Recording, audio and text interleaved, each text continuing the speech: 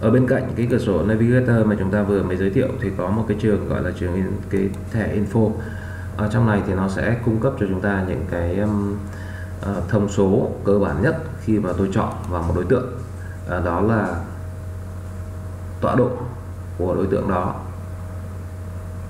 độ dài rộng của đối tượng đó thông thường khi mà chúng ta mới mở lên thì tường nó sẽ giấu bớt đi và nó chỉ để cho chúng ta những cái tham số như thế này thôi.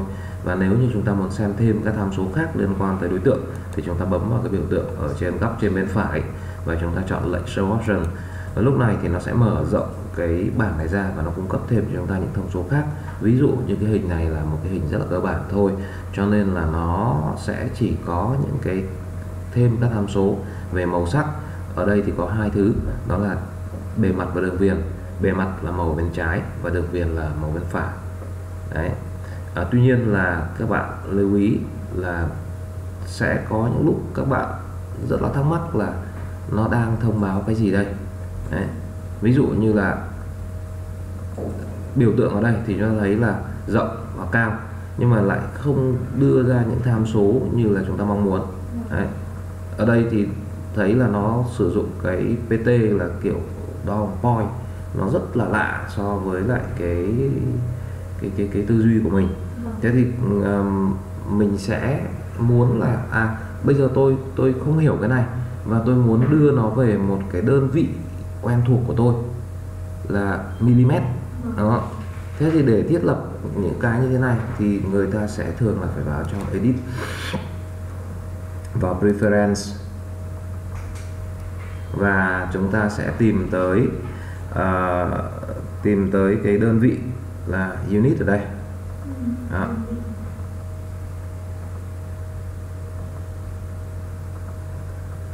khi tôi nhấp chọn vào trong uh, edit preference unit thì uh, nó sẽ mở ra cái bảng liên quan để cho tôi có thể là thiết lập lại cái đơn vị đo cho nó phù hợp với lại cái thói quen và cái hiểu biết của tôi.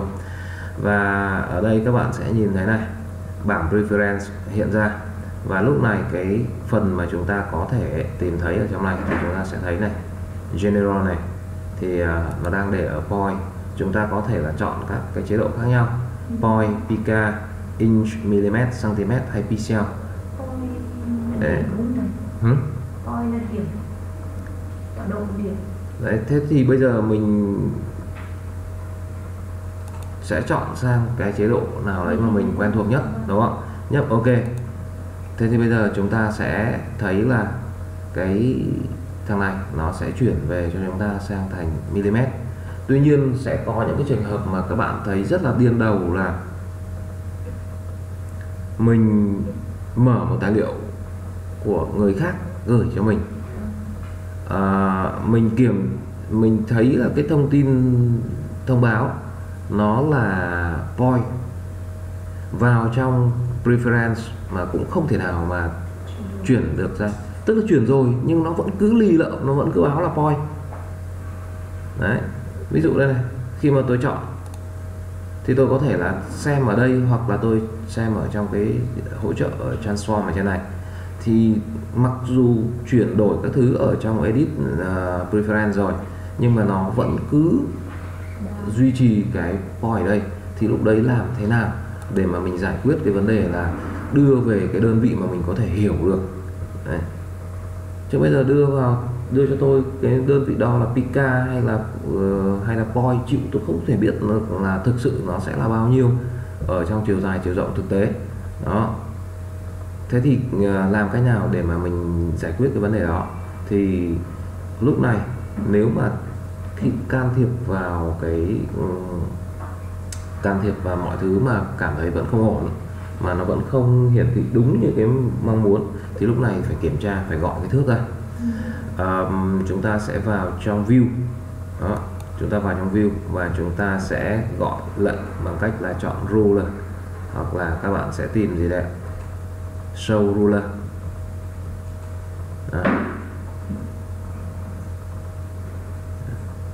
Thế khi mà mình chọn roller này thế này hoặc là phím tắt là Ctrl R. Đó, thì các bạn sẽ thấy là cái um, thước nó sẽ hiện ra. Thước hiện ra rồi thì chúng ta sẽ tìm xem là à, tìm hiểu một chút nhé. Ví dụ như tọa độ đây này. Một tọa độ của một cái đối tượng thì nó tính như thế nào? Tọa độ nó tính từ đâu? Chỗ nào gọi là tọa độ không không để mà khai báo các cái tham số. Thì nhìn theo thước này thì các bạn sẽ nhìn thấy điểm không là tại đây và điểm không tại đây. Có nghĩa là điểm không nó được tính là từ góc trên bên trái của cái trang giấy làm việc của chúng ta. Đấy, và từ cái điểm không đó nó sẽ khai báo sang tọa độ của các cái đối tượng khác là theo cái tọa độ không đấy. Thì thứ nhất là để giải thích về cái tọa độ của từng đối tượng. Một là nó so sánh với tọa độ gốc ở đâu. Thứ hai là về đơn vị đo thì hiện tại bây giờ chúng ta thấy là nó chuyển sang mm cũng tương đối là quen thuộc rồi.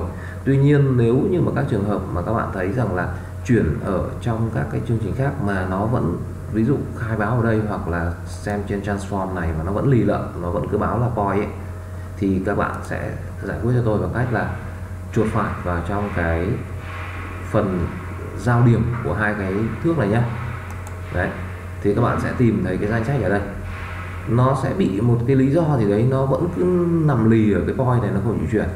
Đấy, thì chúng ta chuyển ở đây, thì lúc đó nó sẽ khắc phục được cái vấn đề là nó ở một cái tham số mà mình không thể hiểu được. Đấy. thường mình làm thì không bị đâu, tại vì mình sẽ là người chủ động, mình xử lý cái đấy rồi. Nhưng mà nhận tài liệu từ chỗ khác sang thì rất hay bị cái tình rất hay bị cái tình trạng là là là nó bị rơi sang cái đơn vị là coi. Đấy, và mình kiểm tra thì mình không hiểu được cái cái đơn vị đó. Thì ờ, cách khắc phục là như thế.